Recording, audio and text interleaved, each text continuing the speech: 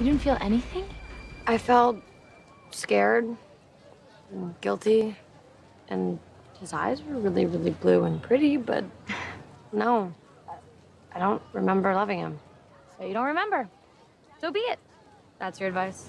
Well, Elena, look at your life right now. You're doing well in school. You're following your dreams. You met Liam, who also has very pretty eyes. Not to mention, he's never killed your brother. True. I mean, I just gave Stefan the friend boot. Maybe a little break from the Salvatore brothers is in the cards for the both of us. Look, McDreamy's coming. I gotta go. I'll see you later. Bye. So guess who came into the hospital for a shoulder arthroscopy this morning? Hello to you too. Lady Whitmore. The girl from the bonfire, the one you miraculously saved from certain death, and I can't figure out how. Turns out she was here on a tennis scholarship before she blew out her arm last year. Now she needs to get her cartilage cleaned out every six months. Oh, you're still obsessing over that? But here's the crazy part. She doesn't remember getting hurt in the corn maze crash. Wow, she must have been really drunk. I'm gonna take a look at her labs. See if she's not an alien or a super soldier or something.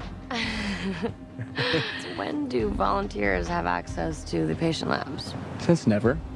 But if you rat me out, you can't be my date to the hospital fundraiser tonight. Yeah, well, we have to go. Jo said that it's mandatory. Doesn't mean it can't still be a date.